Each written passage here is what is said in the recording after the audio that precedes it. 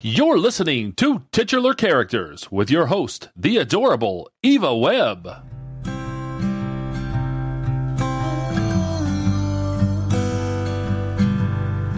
Let's talk nerdy things like comic books and superheroes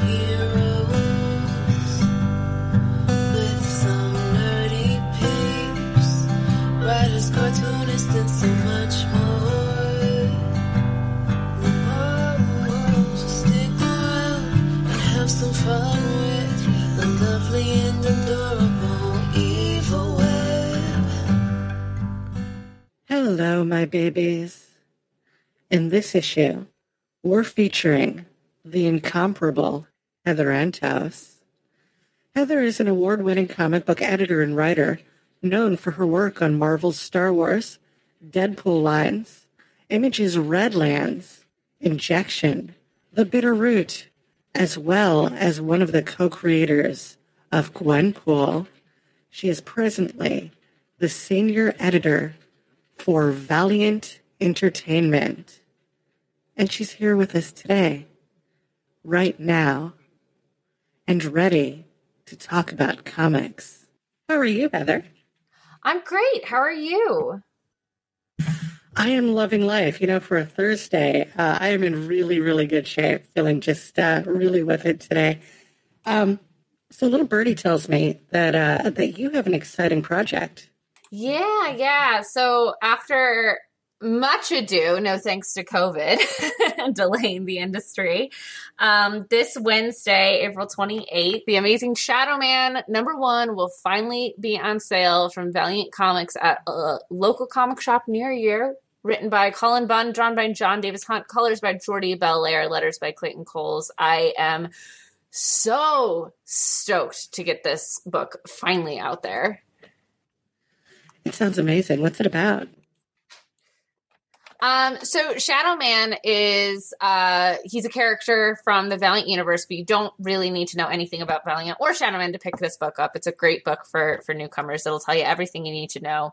Um, he is a man from New Orleans who has a strange family legacy, and that family legacy is that they are tied to the Shadow Loa, um, an entity from the dead side in voodoo lore that will give him supernatural abilities. Um, and his job is basically to protect the world of the living from the world of the dead. Um, so, you know, sometimes, sometimes those dead things want to crawl over to our side, and uh, we can't have that, can we? But this is just uh, sort of a, another in a long line of uh, just really exciting Valiant titles. Uh, the last couple of years, they have just been uh, absolutely amazing. How does the how does the magic happen at Valiant? Um, yeah, I mean, there's a great group of editors there, uh, and everyone brings a little bit of their own, you know, interest and expertise to things. I myself am a huge, huge horror fan, and so uh, when I joined Valiant, the character of Shadow Man just seemed like a natural fit for me to explore and, and do some horror stories. But uh, like any connected massive universe, uh, there's a lot of collaboration that happens behind the scenes to make sure that everything is kind of going in the same general direction and um, keeping everything consistent and exciting. Uh, lots, lots of meetings.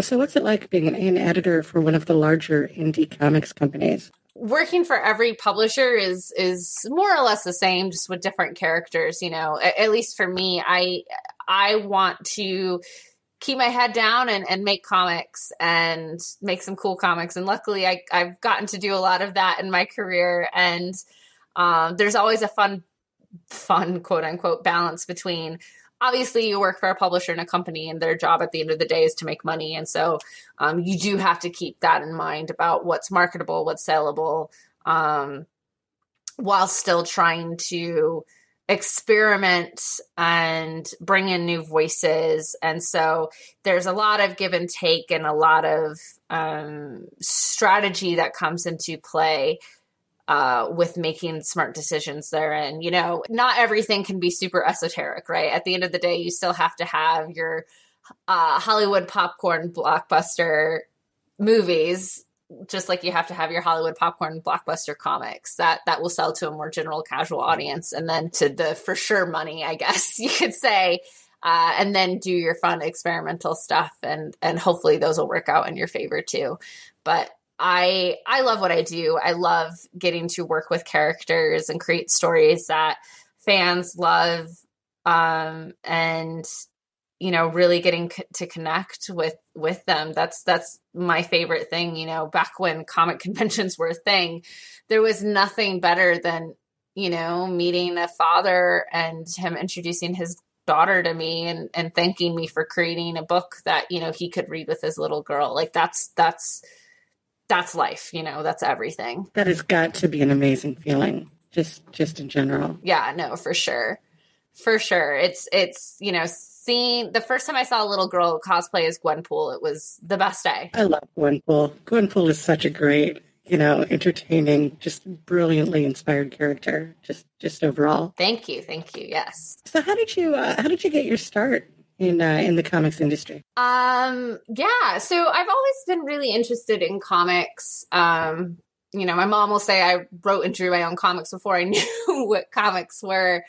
Uh but i didn't actually really start reading comics until much later in life. I didn't have a local corner store comic shop or anything like that to go to. All i had was comic strips in the newspaper but it wasn't until i had an american literature class um, later in my school years that I was introduced to books like Hellblazer and Sandman, Y the Last Man, Transmetropolitan, a lot of your classic Vertigo um, from the golden age of those those books, and I just fell in love. There was something so magical about the endless abilities of visual creative storytelling that it was limitless you know? The the the budget was the creator's imagination. And there's some really great things to be done there. And it was when I read the 24 hour diner issue from Sandman, I think it was volume, I think that's volume one, issue six, if I have that correct. Um, and it's just an impeccably crafted issue, both standalone, but within the series itself and I read it and and I and I knew I was like I want to do this. This is this is something I want to do and I want to be interested in. Um and from there I started reading more books and that led to writing for various comic journalism sites and interviewing creators. Um, but it wasn't until I was about to graduate college and trying to figure out what I wanted to do with my life that a friend said to me, Heather, you like comics why don't you just do that? And that's when I realized, like, oh yeah, people make money doing this, right? There, there are careers for this, and I really began pursuing what different options there were for me. And I knew I didn't want to write. I was, I, you know, I, I, like to write, but I'm not a writer. I like to draw, but I'm not an artist. But there's this credit editor on every single book that was mysterious to me. And I had a vague idea of what an editor and, you know, your traditional publishing houses do, but in comics there's so much more that goes on. There's an artist and a colorist and a letterer and and so many other people that you're working with like what exactly is the role of an editor? And so I did what any good millennial does and I started reaching out via Twitter to different comic editors. And that's how I met Jordan White, who agreed to speak with me at C2E2 in 2014 um, and give me a bit of an idea of what it is an editor's job is in the day to day, especially for one of the big two. And I left that convention knowing this is it. This is what I want to do. I, I want to learn how to be a comic editor. I had already graduated college at that point. So getting an internship at one of the big two was out of the question, um, as they require you to get college credit to apply. Um, and I wasn't about to make the move from Michigan to New York City without a job in the hopes that maybe I would I would get get um, an assistant editor position. Um, so I decided to self publish and start from the ground up, um, doing editing for free for other indie uh, creator owned self publishing endeavors. And I created my own comics anthology that I put together um, and crowdfunded on Kickstarter and self published as a sort of portfolio resume builder piece. And it was that book that six months later caught the eye of Jordan White at Marvel again, and they happened to be hiring at the time. He asked if I wanted to apply. I did, and the rest is history. You got to work with some amazing people at Marvel too. You've uh, Jordan White, uh, you know Tom Brevoort, um, just some just incredible minds. Uh, is it hard not to uh, not to fangirl a little? Oh my goodness. I won't lie. My so one of my interviews at Marvel, I didn't know who I was interviewing with. I was just told, you know, phone interview this time, be ready. And the phone rings and on the other end is Tom Brevoort. And at that point, all I knew Tom Brevoort for was he's been at Marvel for forever. He's a big deal. He, you know, like he's he basically is Marvel. And I was so nervous. I couldn't tell you anything that happened in that interview at all. But I was so stressed out that the second I hung out, I burst into tears because I was so afraid I just like ruined my shot in front of Tom Brevoort on the phone, which is so funny now because like I, I know Tom personally and he's very sweet and lovely. But yeah, no, I mean, I learned very quickly that, you know, in order to be taken seriously as an editor, you you have to be a colleague first with the creators that you're working with you know fan second. And it's it's okay to say you know oh i really like this book that you worked on. I thought it was fantastic. But you don't want that to be the identity of your relationship. And one of the first books i worked on at marvel um, one of the first inter- creator interactions i had was with mark Waid and terry dodson. And oh my God, the imposter syndrome was real. You know, my first week, you want me to send these notes to Mark Waid? Absolutely not, you know, but I did and I had to. And, you know, it, was kind of a sink or swim situation where you kind of have to get over that very quickly. At least I, that was my experience and what I felt I had to do. And yeah, um, it, it, definitely, it, my, my first years at Marvel, my first year or so, I was definitely like, oh my God, who am I? You know, I'm a baby 24 year old, but now, you know, they're old friends, which, which is really great. But what does uh, an editor do? What's their uh, responsibility? I like to say they're a part time creative director, part time project manager, full time therapist. Therapist, really? Oh, yeah.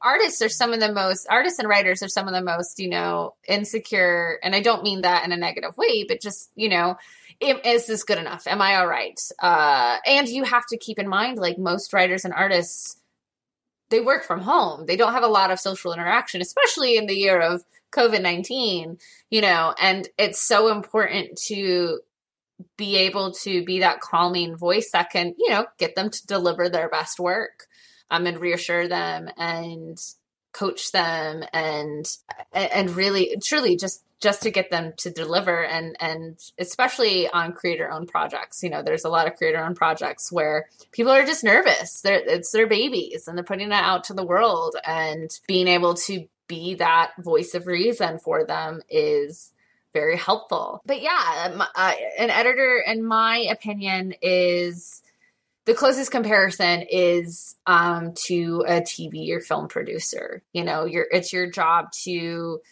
solicit ideas, find the best ideas, and bring those ideas to life um, with the best, you know, uh, creators that you can, the right creators for the project, hit your budgets and hit your deadlines and do it for you know 15 to 20 different projects at the same time every single month. There's there's a lot of moving parts a lot is going on. Or if you're into sports metaphor i always like to say you're team captain you know? I don't like to say you're the coach because you should be in the trenches with your creators. It's your deadline too. And and you need to be able to call the shots as you see them on the field as it's happening. One thing i've always been curious about is uh, you know when when you're in indie publishing it takes people years to produce maybe three issues of a comic. How do you get that schedule to compress when you're working on monthly books? I always try and plan ahead as much as I can. That's not always possible. Sometimes, you know, sometimes this this happened on more than one occasion at Marvel. Sales will decide literally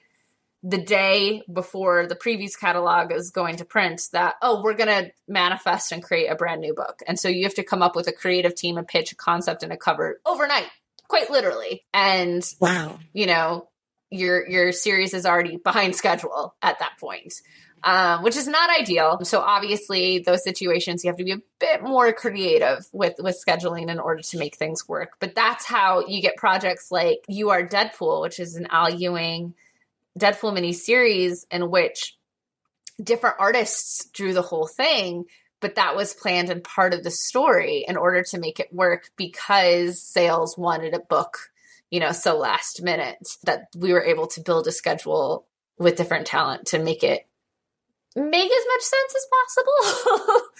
but, you know, when it came to working on licensed properties like Star Wars with Lucasfilm, because every, you know, the comics exist in the same universe that the films happen and films are planned out, film and TV are planned out so far in advance.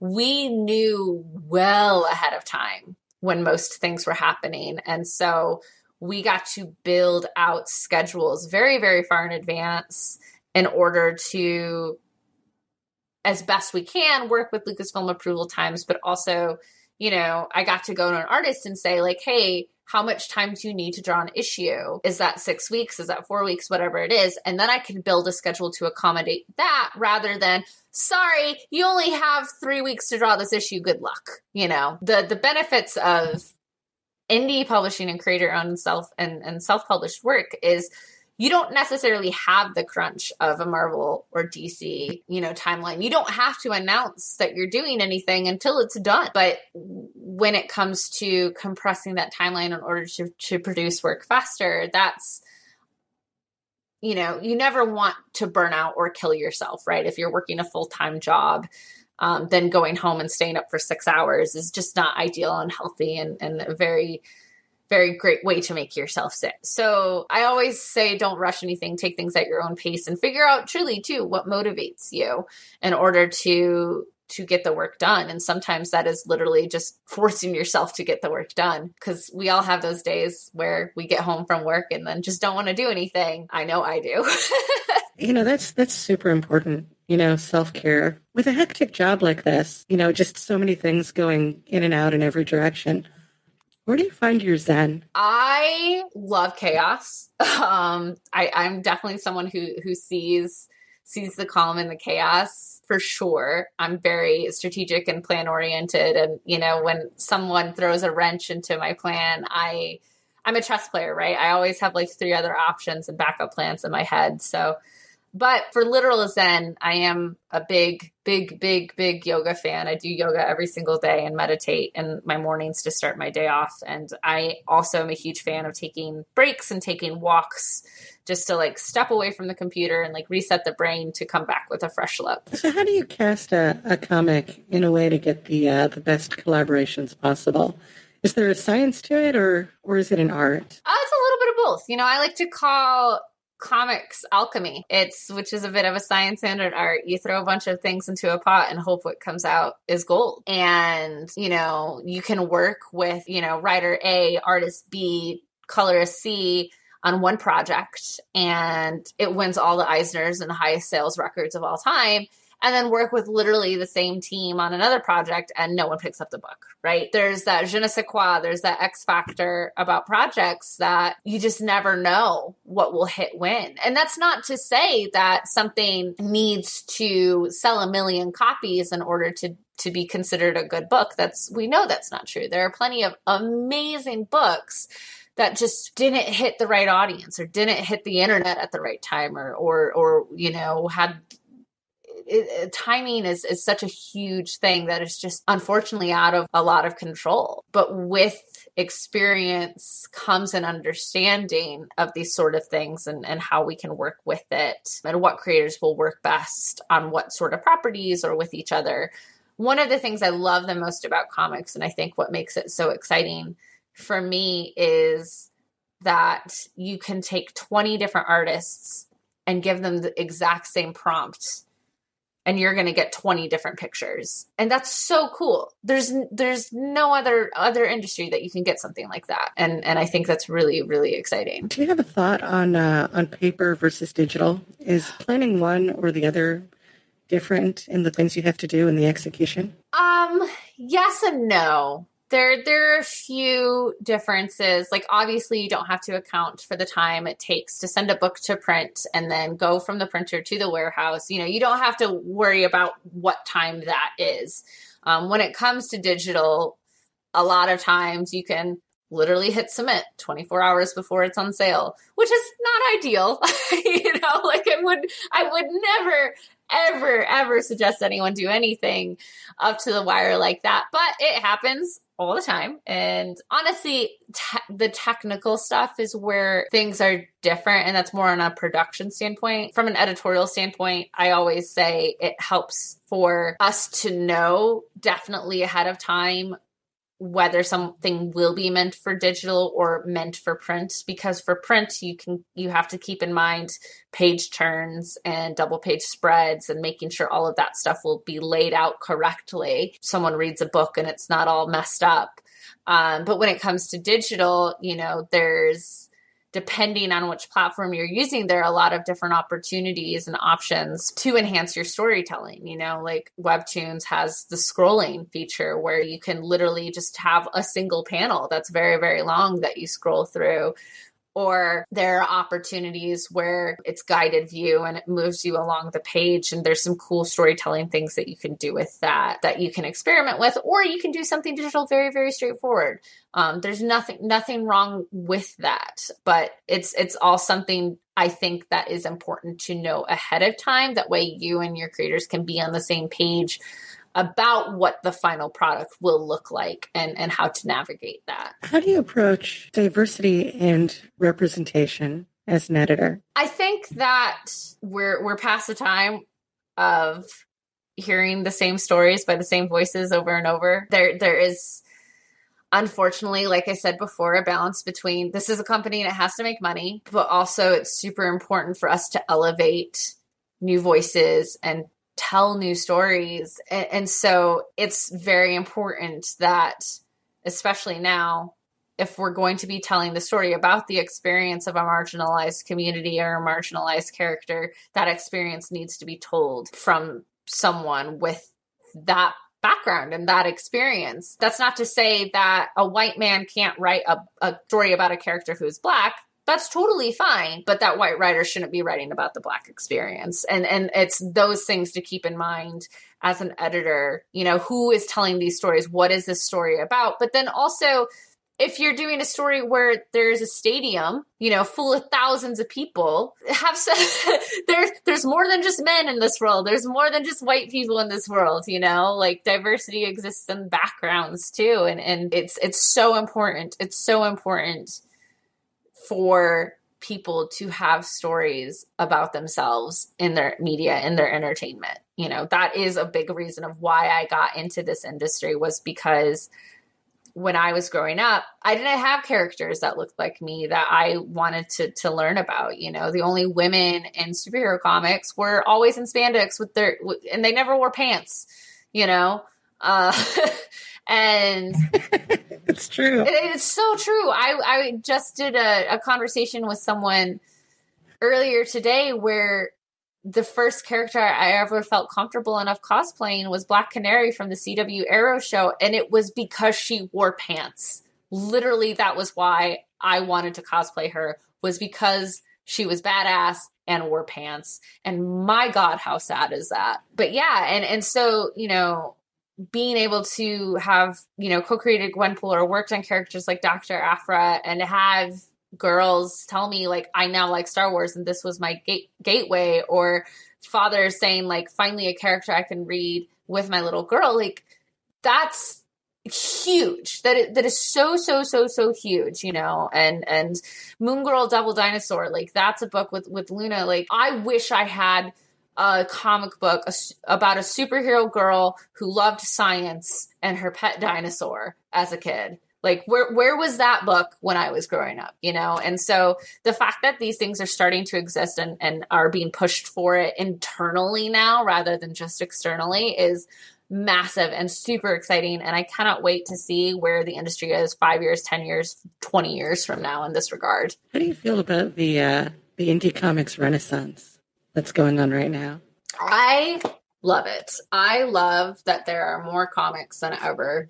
Um, I love that there's more than just superhero comics. You know, as I said before, I love horror comics. I'm a big fan of crime.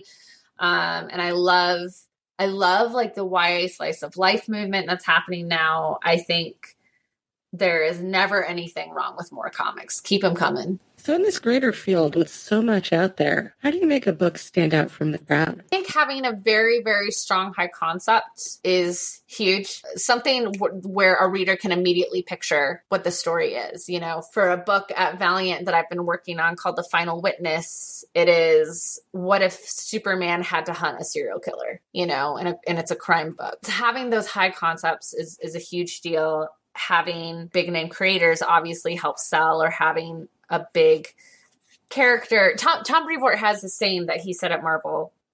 For a book, in order to be marketable, you have to have at least two of the three C's creator, character, and concept. You know, if you have a great concept in Batman, then you can use a lesser known creator.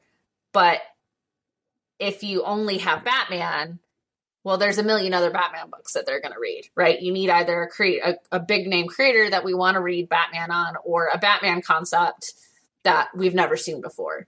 And so I always keep the three C's in mind whenever I put a book together in order to help make sure it's marketable. So, are you still reading comics, like uh, as a fan? Absolutely. I, I unfortunately don't get to read as much as I'd like to. Um, but you know, I definitely, definitely am still reading. I actually during the pandemic have gone back to reread a bunch of the old school vertigo stuff that got me into comics in the first place. And it's been really fun to like read them now as a professional rather than just like someone being introduced to them in college. Does the experience of creating comics in your opinion change the way you experience comics as a fan I think so. Um, a little bit. I definitely know how the sausage gets made. And so there's a lot of times where, and especially knowing different creator habits or editorial habits or even publisher habits, you know, I will know why they can't do something that I'd like to see them do with a character because they're just not going to use that they're they're not going to do this thing with that character or this this publisher and this writer don't get along which is why that writer doesn't work there anymore x y and z blah blah blah, blah. so you know I know I know the behind the scenes politics with stuff that can sometimes get in the way of of enjoying a book just purely as a fan but also I think it makes it more interesting to see from a critical thinking point of view, like when big events happen at publishers, like one of the one of the things that I was really interested in was a couple years ago when DC was moving from New York to LA, they did this big month long event uh, that kind of filled the space of all the chaos of moving that you know 30 years from now, no one reading those books will, will know of, right? It's just a books that they read that came out. But from someone being in the industry and knowing what's going on at the time, it definitely made the understanding of the product very interesting. Do you have a, a favorite comic of all time? Oh, it's definitely that Sandman issue that I talked about from when it comes to single issues. The the 24-hour diner issue. Uh, again, I believe it's it's issue 6 of volume 1. But also my favorite graphic novel of all time is called One Soul. It's by Ray Fawkes. It's put out um, by Oni, and it's it's. I don't really know how to explain it aside from it's like poetry meets comics. Um, it tells a story about 18 different people throughout the span of their lives and how really they have more in common than they do different and it's it's truly beautiful and I've never seen another comic story told in a similar way. It's it's great. I highly highly recommend it. Is there a creator that you think is either the most underrated or uh, most inspiring person in comics? Oh my goodness. Um I don't know. I mean, she's not underrated, but she's certainly been very inspiring to me. Is uh, Karen Berger, who used to she's the creator of Vertigo back in the day and and really um she is why creator owned comics and indie comics exist in the in the way that they do today. I, I fully, fully accredit that to her. You know, she started Vertigo and because of that we have books like Watchmen and V for Vendetta and you know, uh, 100 Bullets and Sandman and Hellblazer. And, you know, because of the success of those books, that's why in the 90s, a bunch of the creators like Jim Lee, Robert Kirkman, Todd McFarlane, Rob Liefeld all went and started Image. And, you know, Image is where creators want to go to create their own stories that aren't Marvel and DC now. It, it's huge. The impact of her work is is massive, and I hope to have a fraction of the impact that she has had on the industry. So we're up against the uh, the end of the show, and uh, the final segment. I, I, don't have a name for it anymore. I used to call it the uh, the fun and interesting questions. Are you ready? Subtle. yeah. Okay. So uh, so what's your favorite food? Um, ice cream. Would you say you're a uh, a cat or a dog person? Oh, dog person, hands down. My dog is my dog is literally sitting here waiting for me to finish so I can take her out. What's the best swear word? The best swear word? Ooh, definitely fuck. There's, it's it's very versatile. I think that's a good one. What inspires you? oh God, that's a big question. Um, I I would say it's probably cheesy, but like you know, uh, making things better. You know, leaving leaving a, a better future than than you had. Um, not that that's always possible and in your hands because there's a lot more at play in the universe than, um, but definitely, you know, creating hope and and inspiring other people. I love that answer. That is amazing. What brings you joy? Uh just the little things. Just, you know, like my dog being cute um, and showing me her belly, you know, when she knows she's in trouble, and you know, just just making other people smile and appreciating, you know, being able to take a step back and appreciate the little things and the little beauties in life, and and just existing and being, and and I think that's really important, especially in times like we've just been experiencing where we haven't been able to see friends and family you know like really appreciating those little moments and and just holding on to them, I think is very important. So you've got one altruistic wish to save the world. What's it going to be? I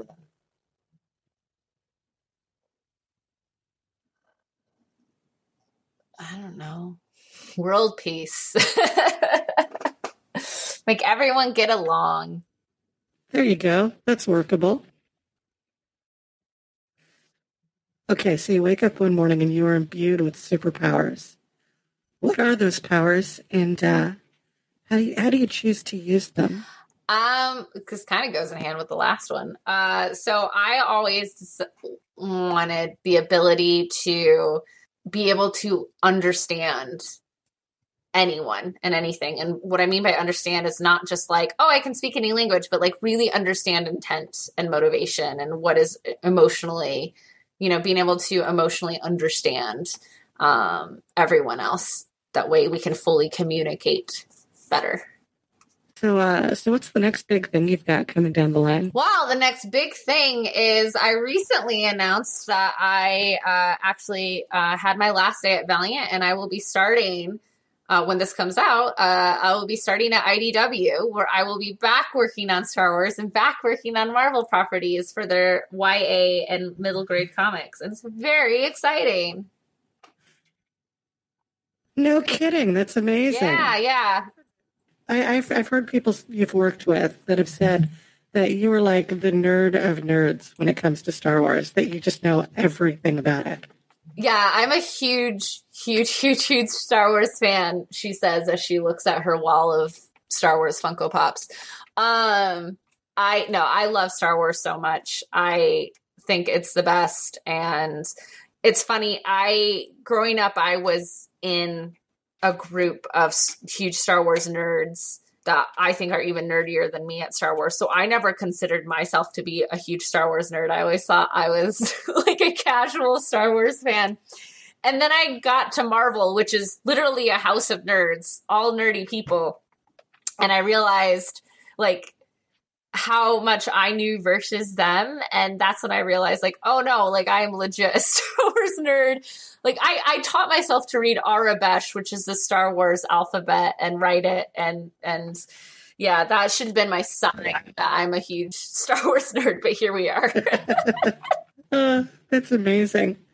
So Heather, uh, that's it. That's everything we got for the show. Um, where can people find you online? Uh, easiest way to find me is Twitter, where I am always lurking. My name at Twitter is literally just my name, at Heather Antos. You can also find me on Instagram at, at Heather Antos and at Heather Art Toast, A R T O S, where I post all my little doodles and drawings that I do.